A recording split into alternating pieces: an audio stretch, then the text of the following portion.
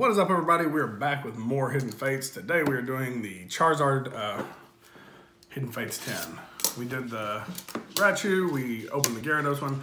We are going to do the Charizard one now. And all these 10s have not been terrible, actually. they haven't been bad at all.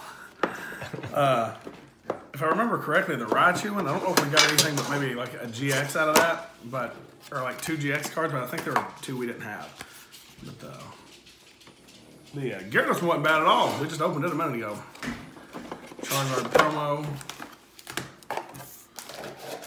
I threw it on the ground.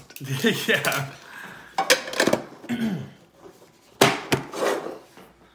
Four packs.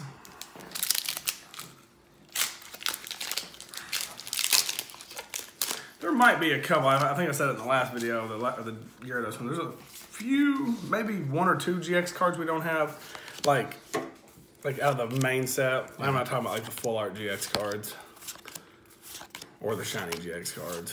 Coughing. Wow, reverse holo, or I mean shiny Wooper. Now I can't remember. I don't know if we got that. It's hard to tell. It- it- I can't. It's hard to tell. We don't open Hidden Fates enough to. Regardless, though, not bad. Got a shiny out of a ten.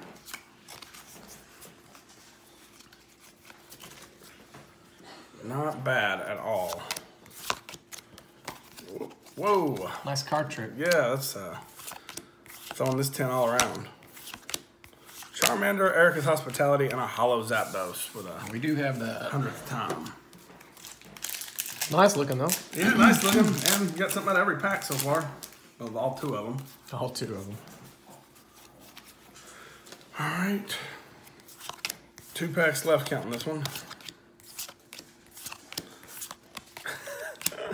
Caterpie, Paras, Psyduck, uh, Chansey, and an Onix GX. Not bad. We have we have that, but still, Do we? yeah, still. Uh, Well, GX full. Can't complain too bad. Got these at Target too. I think the last time we opened Hidden Fates, we got it at Target somehow or another. Got lucky. Target didn't have anything there for a while, and then it randomly started having all kinds of stuff.